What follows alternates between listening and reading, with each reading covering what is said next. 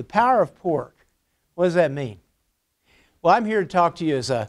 uh, spent uh, the last 30 years in swine research at the University of Illinois, uh, managing the research farms and teaching on campus, and took the buyout in 2010. So that's uh, I find myself working for National Pork Board now. Um, what we're going to talk about this morning is about the modern pork industry, farming in general, and modern farming, and how it affects the safety and nutrition of our food. If we uh, look at the statistics from the World Health Organization, we see that by 2050, the population of the world will increase one third to about 9.3 billion people. And their demand for food will need to be met by an increase in production of approximately 100% of what we're doing right now. So we've got to double production. How much of the earth is tillable and used for farming? Anybody have a guess? Sir? 80%. 132nd of the Earth's area is available for farming.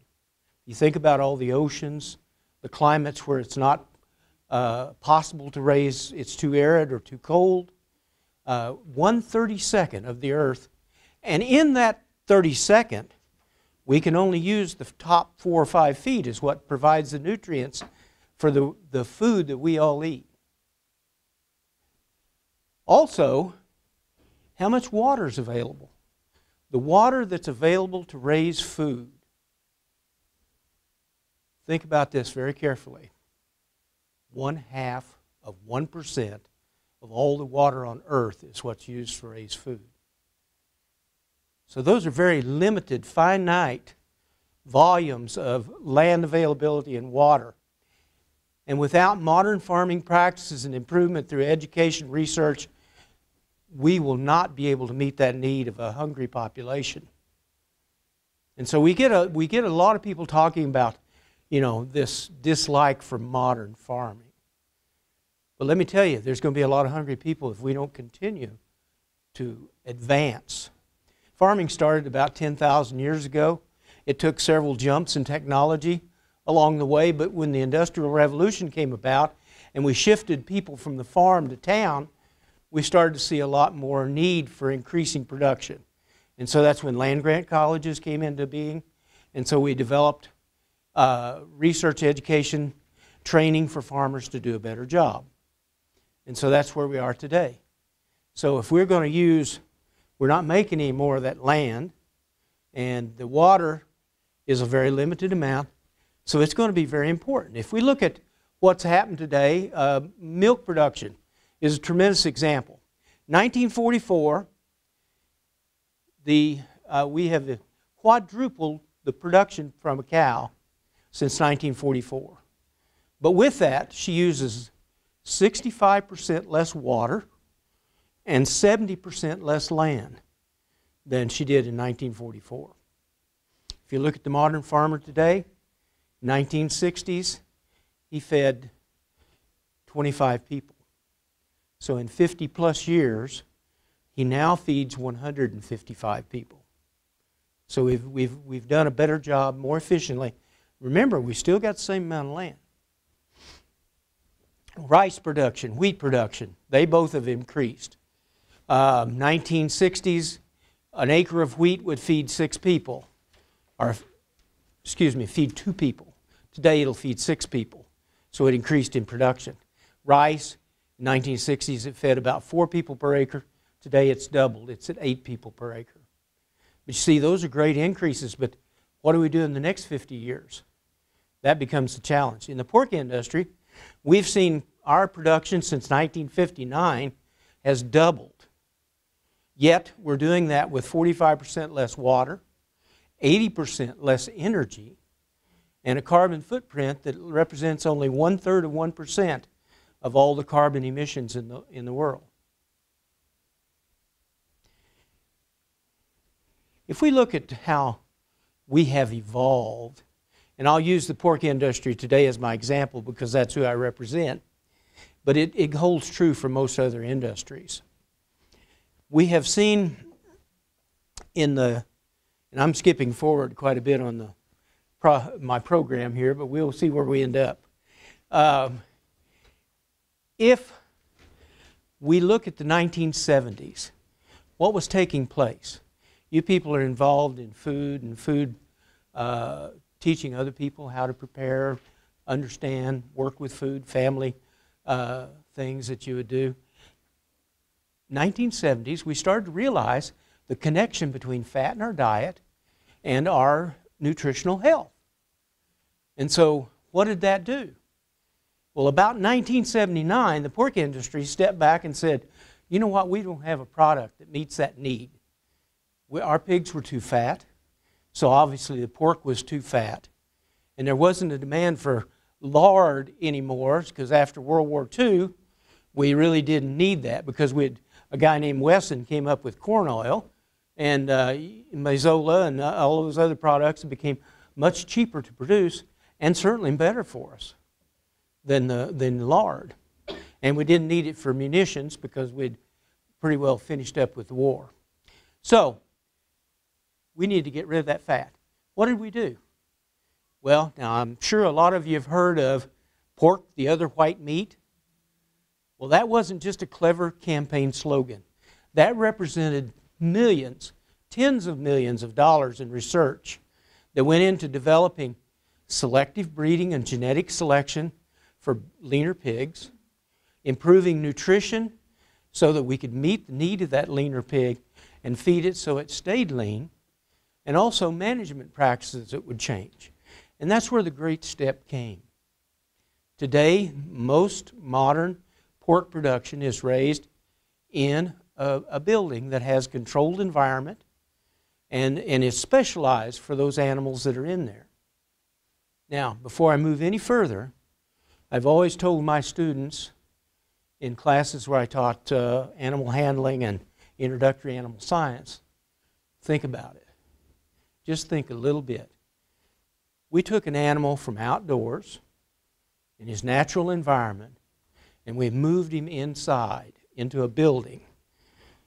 Now, outside, he was responsible. He, the animal, was responsible for controlling his environment controlling whether he was hungry or thirsty. That was their job. Whose job is it today? It is our moral obligation to take care of those animals. They represent our livelihood, for one, and it's the right thing to do. And so, as we develop buildings, we develop them with the care and individual nutrition, individual care, medication, health of that animal. Animals that were raised outside were subject to the weather, and they were subject to all kinds of uh, health risks. But we can control that now that we have them inside. And we get kind of a bad rap. People want to throw rocks at us about the way we do it. You know what? I've got nothing against people that want to have a vegan lifestyle. That's their own cultural change or cultural choice. But those people who profess that everybody should be vegan shouldn't be trying to make rules to tell us how to raise pigs. And that's what we're finding in some of the legislation that gets put forward by, for instance, the Humane Society of the U.S. Anybody know what that is? Or who they are? You ever donated money to them? Well, you know, they, they spend a lot of money on these very tearful pleas using usually an actress holding a three legged dog that's blind in one eye and trying to get people to donate money. And I'm not trying to be facetious because there is a need there. The problem is they gathered $140 million last year and only spent 400,000 on helping pets. They do not represent your local health uh, uh, shelter. They are a, an entity that is set up to lobby in Washington to promote a vegan lifestyle. Their vice president, Wayne Pacelle, has testified before Congress that he will see that no one in this United States eats red meat or any meat at all. Well, that's not the guy I want designing how I do my business. I think that we've, we've gone past, though, what I would call the science based uh, decision making. We've reached into an emotional decision making, and this becomes part of the problem when we transfer our emotions of, of human emotion to animals. So consequently, that's part of what we address today is our image. That, in fact, that's why I'm here. I started in this program four years ago and have presented about 100 speeches because I want to try to educate people. I want to educate you to the point that you can make your own decision. If you think we ought to be doing something different, that's fine. But at least I had the opportunity to show you what we're trying to do. Now, we've designed programs called Pork Quality Assurance that ensures that everyone who raises pigs and sells them onto the market has, has to be certified. And that certification comes through the National Pork Board. We do the same thing with the trucking industry. Every trucker who hauls pigs has at least been trained and certified, and they have to retrain and recertify every three years. Meaning, how do we enforce that? If I back up to the plant to unload a pig, the first thing they ask me for is my TQA certification as a driver and the PQA certification from the producer that sent those pigs to town. Without that, you can't market. So that, you know, it doesn't mean that there's not still people out there that aren't bad actors. You tell me one industry that you can't point to someone that doesn't do it right. But at least we put them all on the same basis and we've got them all at least thinking about it. And I think that, that's the only thing that I can commend HSUS and some of the other PETA, for instance, they raised the question. And believe me, it, it raised the debate and it, it forced us to look at ourselves. And that's what we've tried to answer. Well, let's talk a little more about just pork in general. Well, first, let me tell you, let me tell you a little story. Modern pork production has, has moved inside, and it's still the choice of some operators to be outside. The thing is, uh, with these buildings that we've built, we have very specialized facilities. And those facilities are designed for each of the phases of production. So we have a breeding barn where the animals, the sows, that's the adult females, are mated, and they stay there and gestate for 114 days. Then they're moved to a birthing facility, and that is specifically designed to house the female and her litter. And these are done individually so we can control, again, their health and their nutrition. And again, you know, it's our job to provide feed and water. Now, a lot of people say we shouldn't use gestation crates. Well, here's the thing if you've got 4,000 sows, I can't remember them all by name. But if I put them in a place where I can follow through, each day a record is kept on each of those animals. And so they get all their shots timely, they, you know, the vaccinations and those kind of things. The sow, the mother pig, lays down and she'll have 10 to 13 piglets. Average weight is about three pounds each. At 21 days, they'll be weaned and moved to a nursery that's specially designed for that young piglet. And the nutrition is designed to meet his every need. Think about it. He's weaning. What does that mean? Well, he's not drinking milk anymore. So what is what is that feed going to need to fulfill what he's he needs? It's got to have a lot of milk solids, whey, a lot of particular protein that's easily digested. And so we've designed as many as eight diets through the phases of production. We move that pig out of the nursery. He weighs about 50 pounds. He goes to a, a finishing unit where there's a lot more space, and he'll stay there until he's about 270 pounds and goes to market at an age of 175 to 180 days of age. So he went from three pound baby to 270 pounds in under six months. And we can only do that with efficient, well kept, and healthy animals, which ensures a safe, leaner, more nutritious food supply for us. In 2006, we hit a milestone. USDA determined that pork tenderloin was leaner than skinless chicken breast. Take a second for that to soak in. Did you, any of you think that? You know? If you take three ounces of pork tenderloin, it will have about 2.98 grams of fat. Three ounces of skinless chicken breast is about 3.01. Now we beat them according to USDA standards. If you compare it to lean sirloin at about 6.98 grams, it's quite a lot better. So pork tenderloin is a, is a specific meat of choice for a lean, healthy diet. Anybody know where the tenderloin comes from? I have a really nice picture that would show you, but I'll, we'll skip past that. Are we ready to go again? Okay, well, this may take a second to get caught up. I think I've been kind of all over the board, so. Like yeah, let's, you roll and I'll, you click them and I'll. All right. Go ahead. Just stop right. Well, you know what? Just go ahead. There's no reason to watch this video. I've told everybody. The one thing I didn't mention is we have we're adding about 200,000 people a day to the United States. What does that mean? Well, that's another LA, another Chicago about every 30 days. Okay? Yes, ma'am. All right. We've talked about this. Roll right on. Keep rolling. Whoop. Stop just a second. Okay, and we don't need to talk about. Okay, let's look at this a second. How many of you choose to eat the pork chop on the left?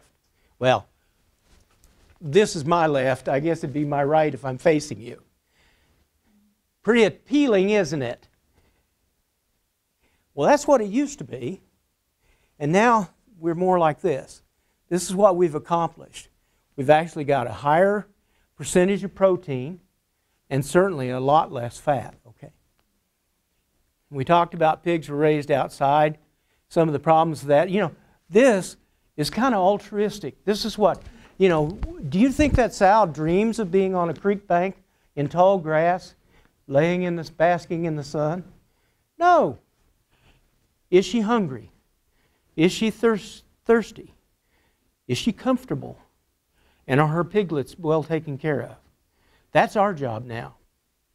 Because this is the next one is what? This is what we got to avoid.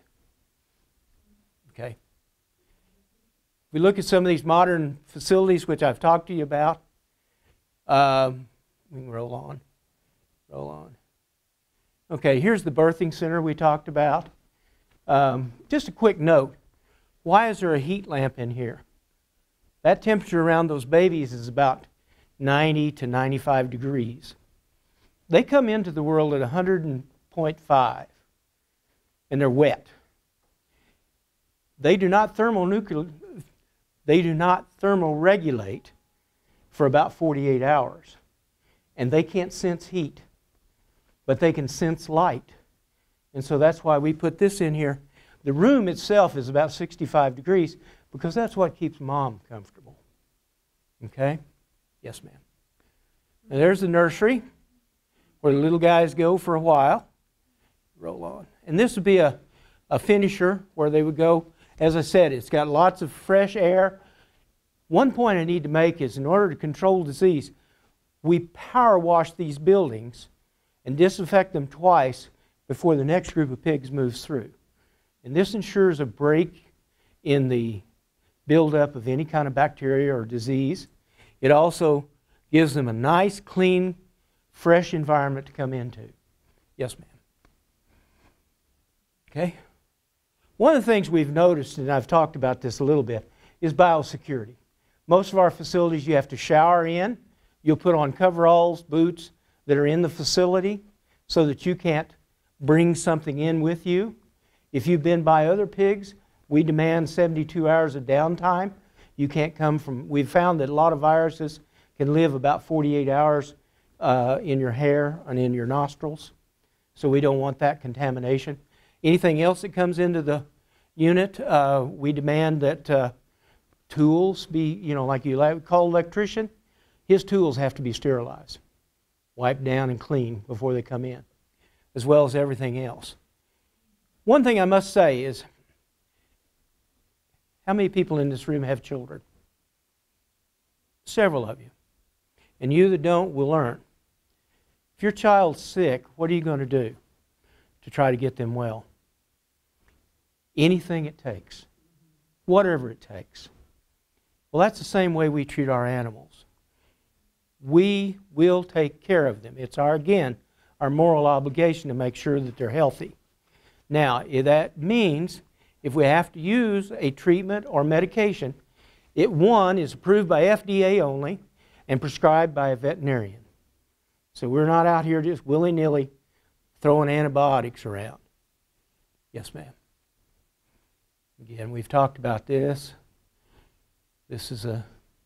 Okay. Where I think we're caught up. Thank you. The uh, American Heart Association did us a great favor in 2012. They finally certified Tenderloin as heart healthy. And, you know, what does that mean?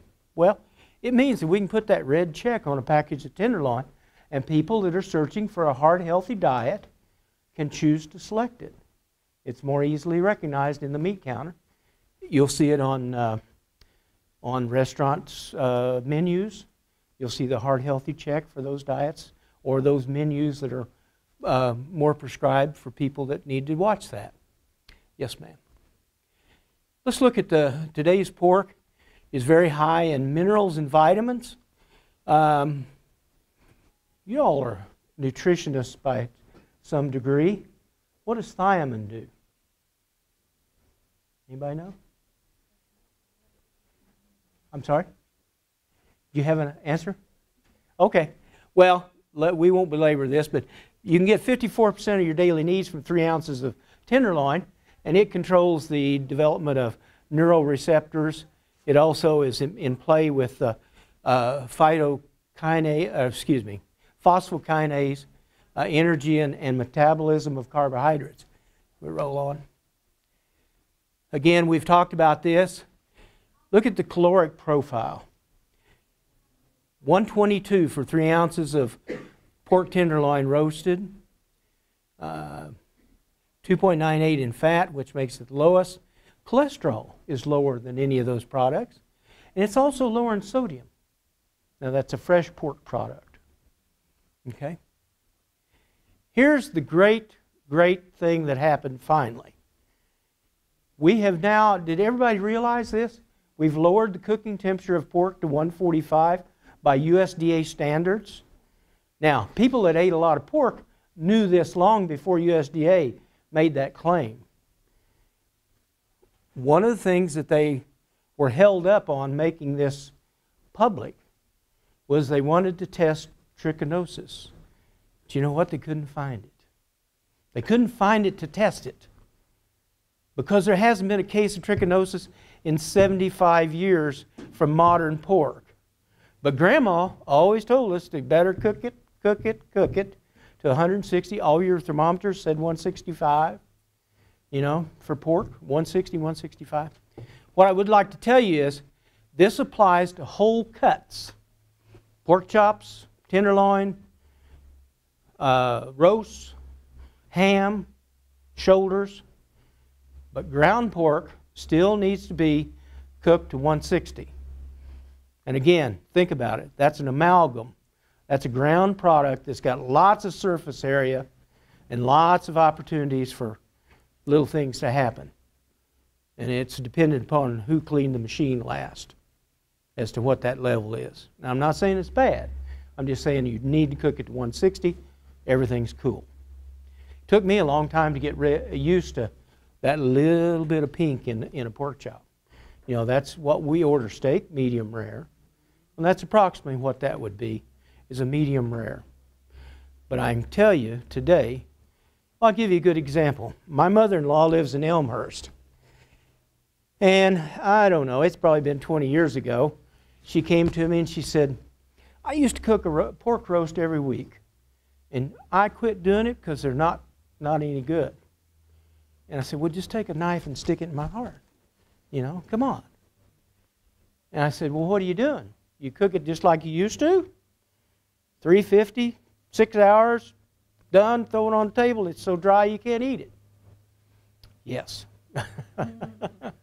well, dear, that's the problem. This, just think about it. If you look back at that pork chop we saw, that fat isn't there to protect it all. And so now, unless you're going to wrap it in bacon or slather it in lard, you better cook it to 145 or you won't enjoy it. You know, the thing is, I can produce the best piece of pork in the world, put it in a meat counter, and 80% of quality is in your control after you get it home. And you all realize that because that's what you're trying to train. If you keep it at 145, it's a lot more pleasant. Yes, ma'am. It's very versatile. You can I I use probably more pork than most of you in this room, I'm sure. But you can intersperse pork anywhere you would chicken breast. I uh, don't have any problem with that. Uh, go to ilpork.org, and there's seven to 9,000 recipes. I know it goes up every day. Um, we've got a whole series of recipes for 30 minute meals. I was just telling the lady over here that uh, my last talk to a group like this, which was uh, your same backgrounds, um, I prepared tenderloin Dijon in about 10 minutes. And uh, it's easy. It's dead easy using tenderloin. Yeah, thank you. There we go. A, a, testimony from the crowd. Very good. All right. Uh, we have also, you've probably seen our clever jingles. You hear the music, I hear it, and I, I know exactly what the commercial is. The be inspired. Well, I think that's the key here. Uh, pork has become the number one growth meat, meaning there's more pork being consumed now than ever before, and it's leading. I mean, let's, let's face it, when we're talking about dollars for protein choice, how's it compare with beef today? Pretty tough comparison. When hamburger, in some places, the extra lean is trading at over $5 a pound. I mean, that's, and, and who would eat 73%?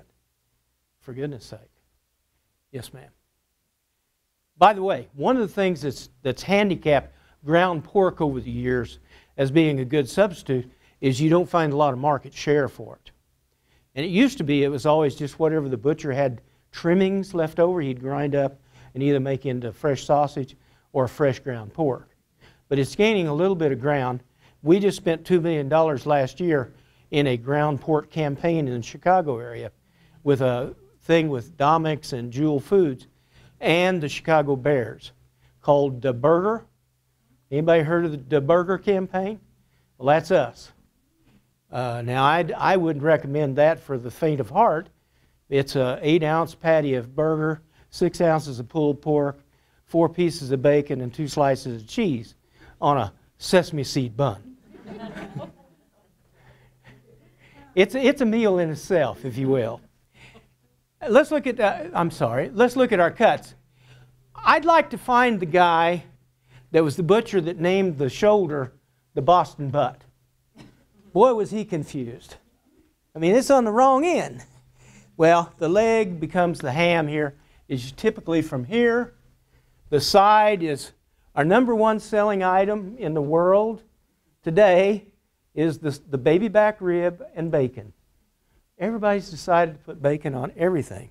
It became a condiment after uh, what uh, what was it? Uh, Jack in the Box served some raw burgers up in the Northwest, and suddenly they figured out they got to put taste back if they got to cook it, so they put bacon on it.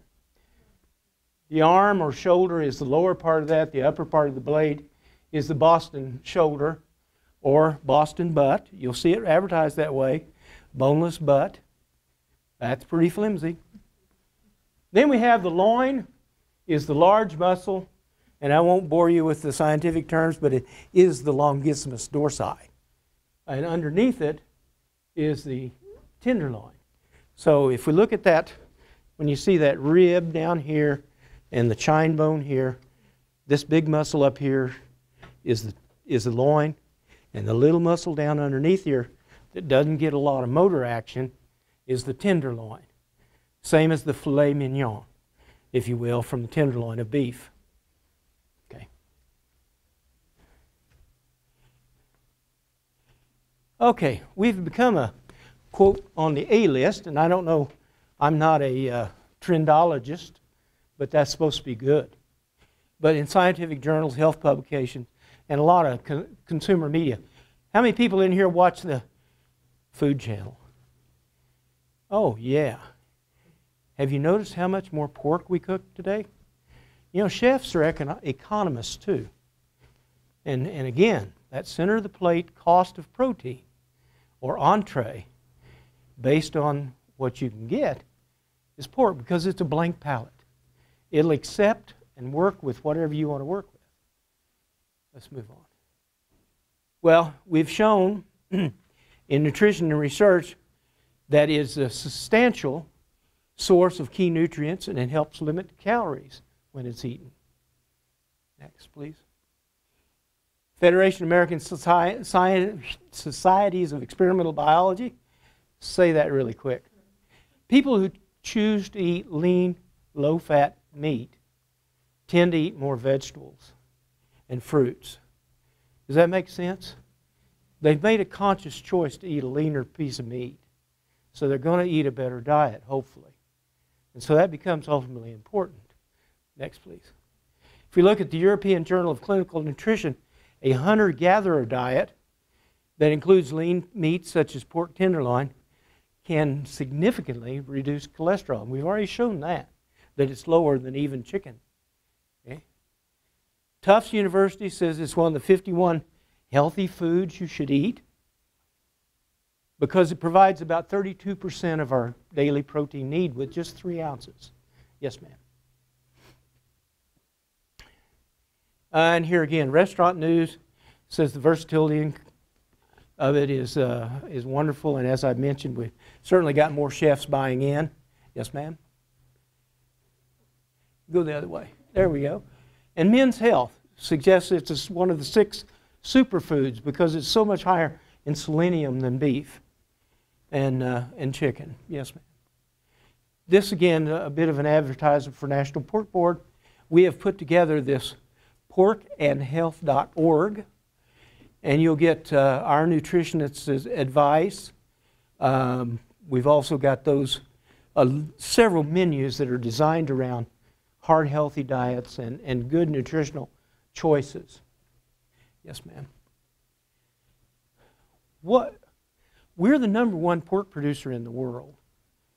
And 30% of our supply from the United States goes overseas. What does that mean?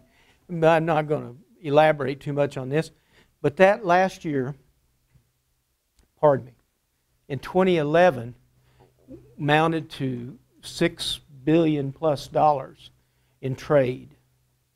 Our most discerning customer in the world is Japan, and we sell about 30% of our exports to Japan. But why do people want pork from the United States? It's available from every place else. Number one, it's the safest, it's the most nutritious and leanest and healthiest of any of them out there on the market. And this goes back to a previous discussion we just had. If we regulate an industry out of business, it becomes a matter of choice. And we put price of production at a point where only certain few people in this world will be able to, to uh, buy meat. Now, the alternative is you would buy it from overseas. We haven't got any control over how they do it. So let's don't beat up the guy that's doing it here and trying to do it right. Yes, ma'am. Yes, ma'am. Again, I talked about this just a little bit. You know, the way I look at it, we have a social lion, uh, license is what we need to earn. When we poll customers and consumers in focus groups and this, that, and the other, we find that nearly, nearly 100% of the people think that farmers are competent, meaning they know how to do the job and they, they get up early, they work hard, they're trustworthy, hardworking people. But when it comes to confidence, they're not real sure we're doing the right thing. Okay, you understand? They, they think we're good at it, but they're not sure that we're, we're confident, or their confidence in us to do the right thing is low. So, again, that's what I say. We have to push that balance of social license to a point where we meet that need too. Okay? Well, we've done a lot of things to try to improve pork, some of those areas being the amount of sodium that's in cured meats. See, a great percentage of that pig goes into cured meats, whether it be hot dogs, bacon, ham. You know, those are a lot of the poundage, if you will. And we've got hot dogs now that uh, are as low as 250. We're working on some deli meats that get them down to 35 milligrams of sodium. Um, you know, it's, it's one of those processes we've got to work on because we know it doesn't represent a healthy diet. Yes, ma'am.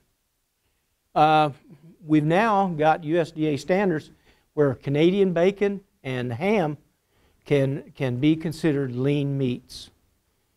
How many times you pick up ham and it's 96% lean? Uh, Canadian bacon's about probably 97, maybe 98 in some cases. Yes, ma'am. Antibiotic use. I'm sure everybody in here has some feeling about that, or you've heard some things. Well, I'm here to tell you, and again, you make up your own mind. We do not use antibiotics lightly. One, they're expensive, and we're not going to go out and give them if we don't have to. So they're only used on animals that are sick or have been exposed to sickness. Yes, ma'am.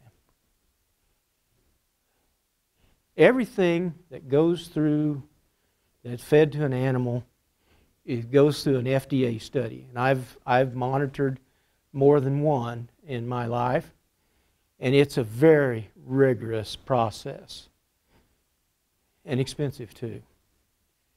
But we can't get anything approved. You know, it's, it's really it is odd. I know we did a test one time on a product that they would not allow to be fed to pigs, but I could go over to GNC and buy it right off the shelf. Doesn't make a lot of sense, does it? Go ahead. CDC, National Institutes of Health, or allergies, have told Congress that there's no definitive link between the use of antibiotics and, and the resistance in humans. There has not been one piece of research that directly made that link. Not to say that someday there might not be, but I'm just telling you, it isn't true today. 82% of the antibiotics we use in our industry aren't even used in human health. Yes, ma'am. Hormones. How many people think we use hormones in meat, beef, poultry? Can't. Not approved. Not allowed. You can't even have it on the farm or in the feed mill. Besides that, there's none of them that work. They're not allowed in raising pigs and poultry. And if you see a package that says there are no hormones in there, it must state federal regulations prohibit the use of hormones on that package. There was a very large poultry producer a few years ago came out with our chickens are hormone free. Well, it was a marketing ploy, is what it amounted to. And so Perdue Farms down the road says, well, our chickens are hormone free too because there isn't any hormones out there we can feed. We went down that route of testing. I, I can tell you we did, but we didn't use them. Now, the dairy industry did adopt uh, bovine somatotropin, which is a naturally occurring product within the, the animal. But consumers said, we don't want that. And so they have now turned that, that around and they don't use it anymore. Because the guy that buys the milk from them, Prairie Farms or whoever, says, we're not buying it if you use that because we can't sell it. And we want our customers happy. Well, that's what happens. Environmental stewardship. That's another area where we get a lot of dings. Farmers, if you think about it, are the original recyclers. We've used this product that we get as a, a waste and turned it into gold as fertilizer by applying it to the land to raise the crops to feed the next generation of, of animals. Yes, ma'am. And it's very important that we have, and you'll see a lot of modern operations that look just as nice and clean as this. We've done a lot of research. I can't, I can't tell you that you can be standing next to one of those fans on that farm and not smell some kind of a flavor of organic material.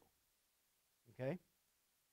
But as we might assume, that smell is a, made up of about 200 different chemicals. The, we've done millions and millions of dollars of research at the U of I and North Carolina and in a consortium.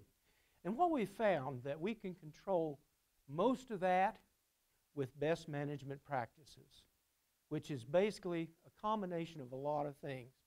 Cleanliness of the buildings, control of the output of the air, location of the facility.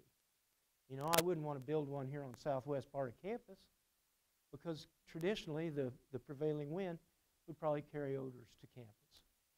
Yet I'm here to tell you, I manage the research farms at the U of I, and within three quarters of a mile of Assembly Hall and the stadium, we marketed 11,000 pigs a year. And in 25 years, I had one complaint. One complaint. And that turned out to be the beef guys spread manure behind a lady's house. So, I won. Yes, ma'am. If we look at livestock emissions, certainly any emission is too much, but if uh, we look at our percentage, it's about one third of 1%. So, we're moving pork forward. One of the things we've talked about this morning is image.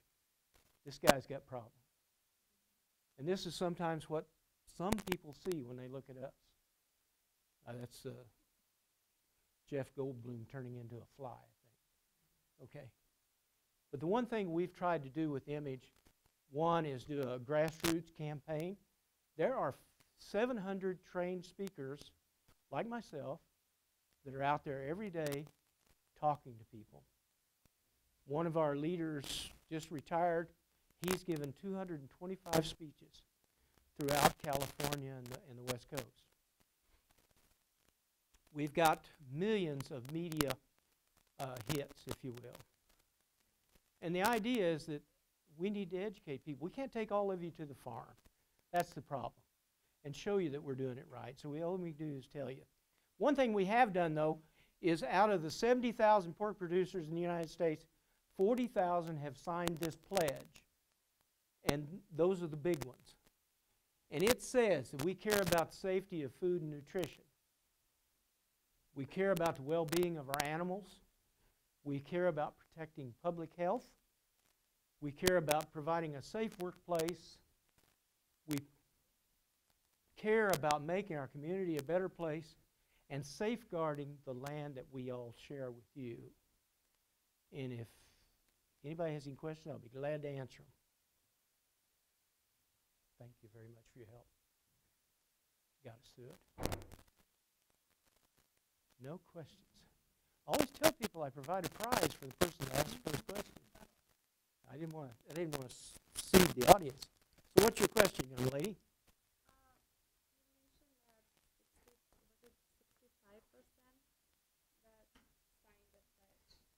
Yeah. Well, what you what I that's the ones that have done it officially. And and and what that, and really what that means is they are they're declaring that they follow these standards. What you have is you've got 70,000 pork producers in the United States. You've got um, 35 or 40 that raise a lot of the pigs. Okay, so this wouldn't include probably all the 4-H and FFA kids that have got one pig or two. By the way, that's a cooking thermometer. And you, how's the best way to test the accuracy on that? You're a grad student. Yeah? Well, you've got sophisticated equipment to do it with. But I always test mine, put a glass of ice water down, and stick it in there. If it reads 32, you know it's got to be pretty close, right? The easy way to do it. The easy way to do it. Any other questions? Yes, ma'am. All right. Okay.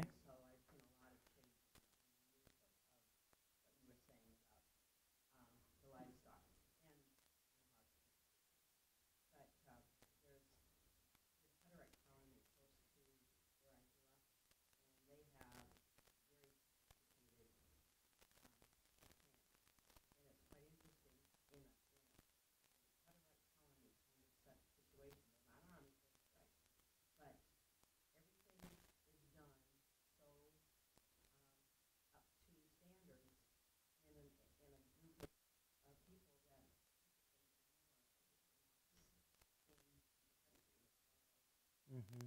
Mm-hmm.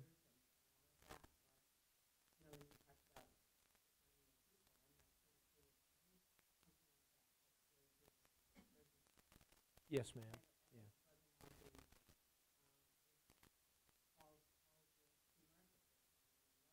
Mm-hmm. Yeah. Right, right. Yes, ma'am. Yes.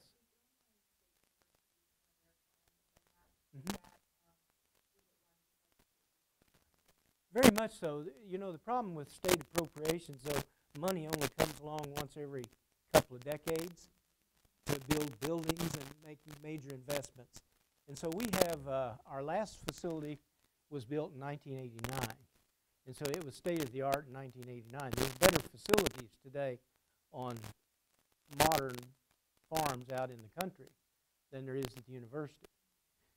But again, with even with quote that handicap, I mean, I had one facility was built in 1959, one was built in 1979, and one built in 1989. And so, as I said, you know, those are when we we got all the stars right in Congress to or a state legislator.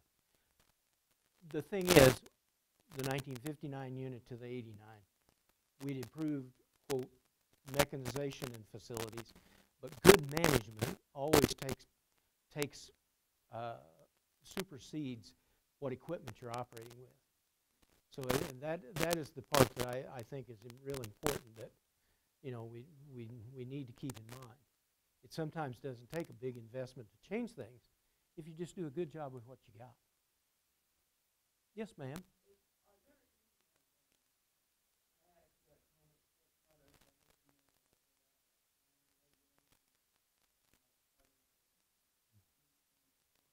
There are some branded products that have, have gained some market share.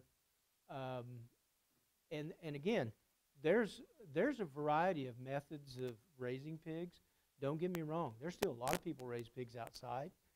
Whole Foods has a whole group of growers that raise their animals outside.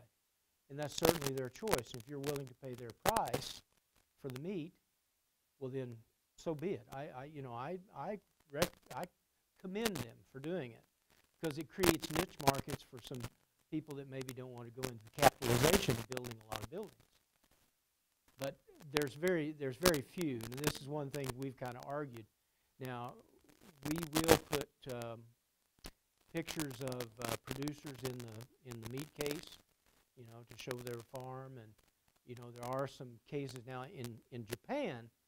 There's very specific uh, there, you know, technology escapes me exactly, but now that you can read an app with your smartphone, they can get a story behind the meat that they're buying and the producers that produced it.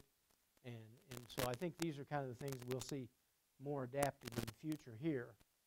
Just like the one that I was told 15 years ago would happen with Bluetooth is that you walk through the doors of the store and it'll read you and tell you, well, by the way, your refrigerator says you're low on milk. You know? So, I mean, these things are coming. Uh, it's just wh- how willing we are to adapt to them. I'm pretty slow myself. I came into the computer age kicking and screaming and still haven't survived as we see things happen this morning. So, any other questions? Yes, ma'am.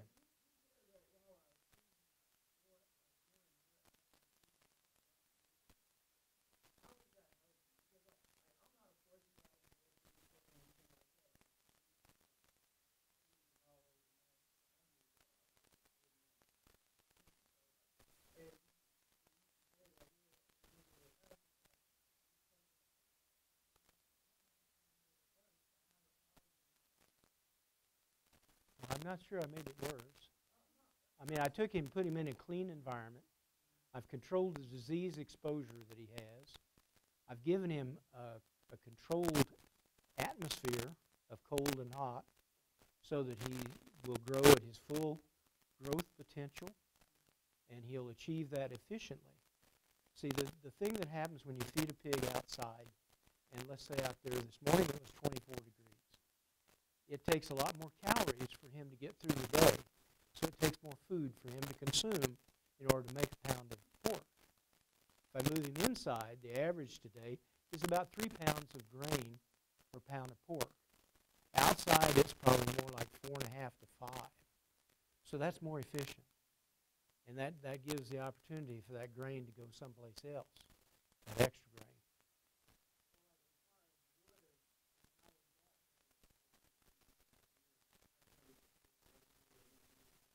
Well, we're not, we're not giving him any less than his needs, but we don't waste it like when you used to have a big trough out in the outside. You have to compare the two systems. Today we have a we have a, a little nipple water is what it's called, and the pig goes up and he pinches it with his mouth, and it'll put out water. The the rule is it should put out 32 ounces of water every minute, so he gets a quick, cool, fresh drink you know, we don't have any spoiled water. It's all fresh coming into him. Uh, it allows us to make sure that, that we soften the water. We take out all the, you know, the iron and the sulfides, and those kind of things, so that he has a he has a fresh water supply, and he only drinks what he needs.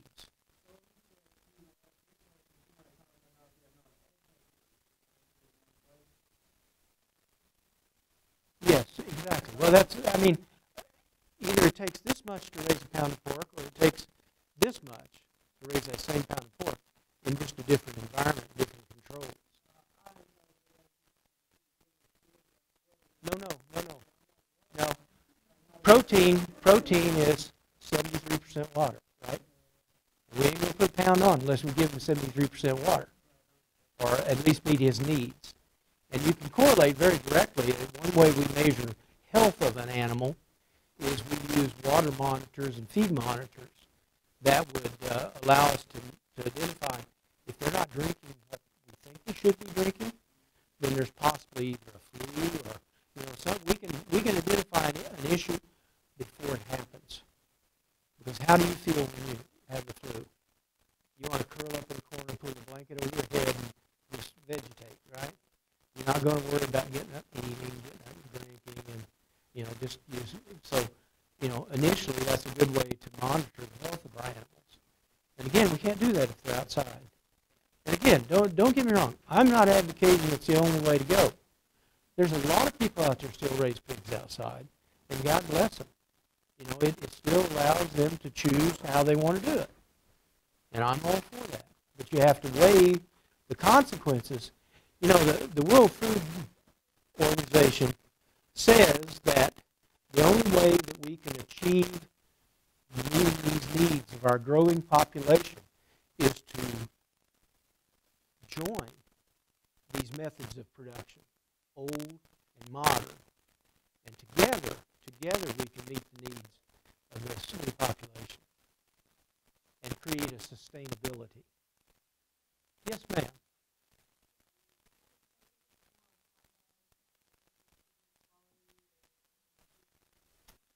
You know, that's a, that's an interesting point. Certainly, we've worked we've worked on lowering the ingredients that we put in there, meaning the sodium, the, the nitrates, the all those things that make a hot dog a hot dog, so to speak. Uh, certainly, there's always concerns about quality, meaning you know how what the eating quality is and the nutrition in preparation of it. Um, I my my first job out of my uh, undergrad was I worked at Wilson Meat Company down in Oklahoma City in the quote Frankfurter plant. Believe me, the improvement we've made in USDA regs for a hot dog was, is uh, is like a great milestone in itself. Because in those days, which is ancient history now, um, there was one reg that I just always found fault with, and it says you're only allowed so many parts per million rat feces in hot dogs. You know, as far as I was concerned, it was zero. You know, I mean, that just wasn't right. But it was allowable. We don't do that anymore. I mean, that's improved. I know. But yeah, the, the research directly with hot dogs is, is still ongoing every day, as well as other prepared meats, deli meats, because it's still a big part of our business is the, is the, uh, the uh, cured meat business. Yes, ma'am, in the back.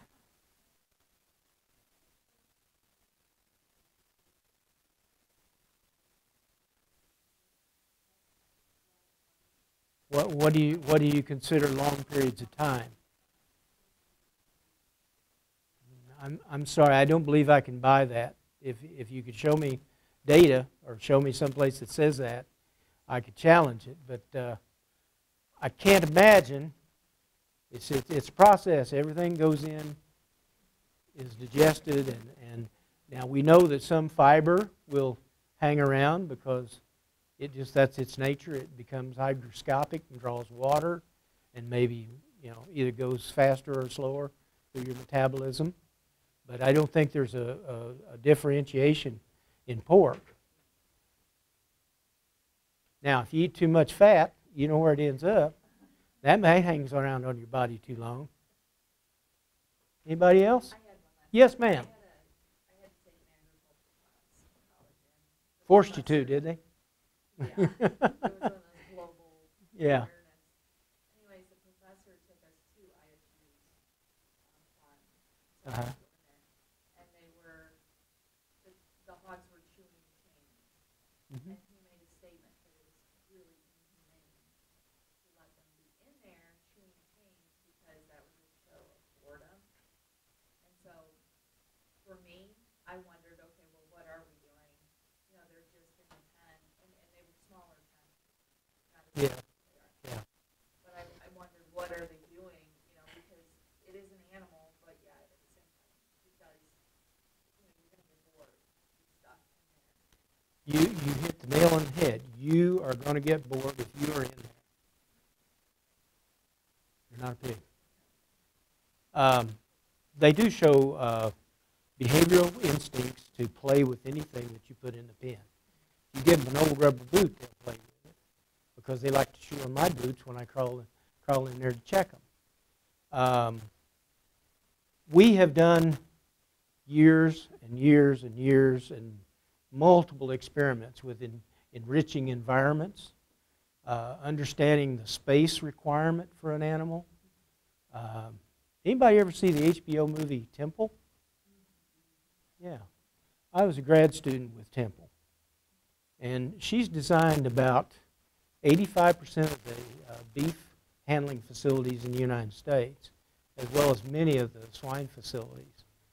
And um, she and her immediate professor, Dr. Stan Curtis, were pioneers in this area of, of environmental physiology. And I have to say, the work that we did, I mean, we, uh, we built apartments inside the pen so that they had a place to go lay down and hide. We've given them uh, twirly gig things with tires, you know. Uh, anyway, you could just leave your evaluation so I could pick them up, I'd appreciate that. thank you very much. Oh, yes, we need to hand these out too. There are some handouts, like anyway, it's, it's, it is ultimately important that we try to eliminate some of that. Uh, repetitive action things, you know. But if they didn't have the chain to play with, what would they be playing with? You see, I mean, that becomes, I don't know that that's, quote, cruel. I think we were actually trying to help their environment. Uh, we take uh, PVC pipe and put little ringlets on the, what do you do with uh, grade school kids? I mean, or, or preschoolers? You give them something to use their hands and, you know, and the pig, because he chews on it or touches it with his nose. I